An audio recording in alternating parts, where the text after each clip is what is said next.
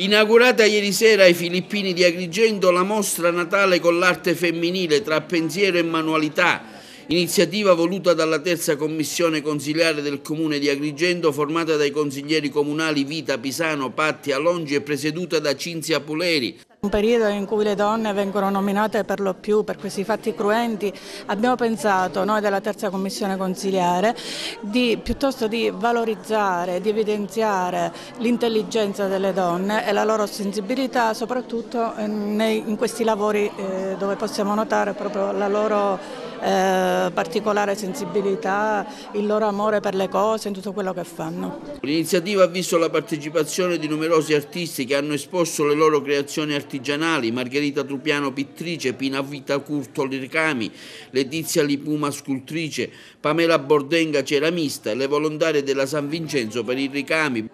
La Sicilia ha un ricco patrimonio culturale con opere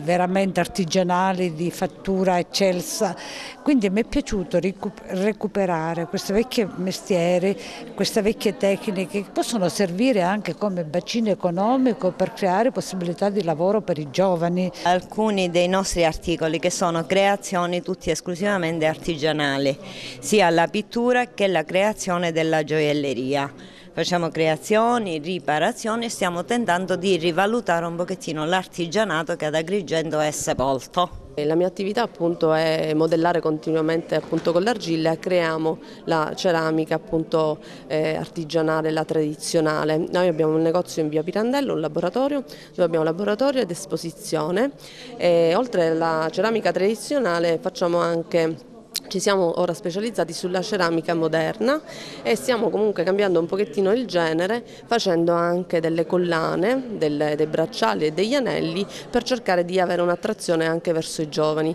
Qui ho portato una sintesi un pochino di quelle che sono le mie opere artistiche, delle tecniche che utilizzo quali eh, gessi, bronzi, resine, eh, comunque una produzione abbastanza vasta e la tematica mia preferita che è quella della donna, visto che il tema di questa manifestazione era tutto al femminile, mi è sembrato opportuno portare queste opere. Noi abbiamo pensato appunto di eh, istituire questi corsi di ricamo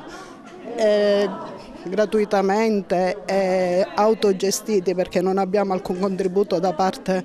eh, delle, degli enti pubblici